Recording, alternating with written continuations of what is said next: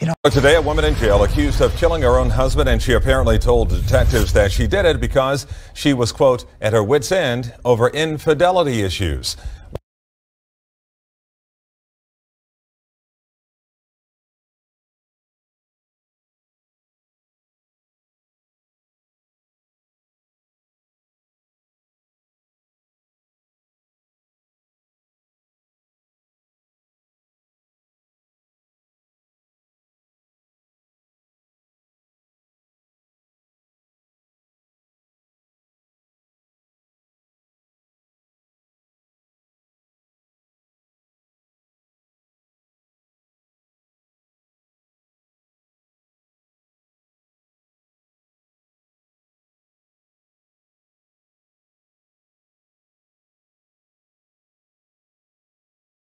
A man accused of murdering his wife and disposing of her body is set to go before a judge tomorrow. Houston police believe Marquise Glasper killed 35-year-old Crystal Lynch back in May.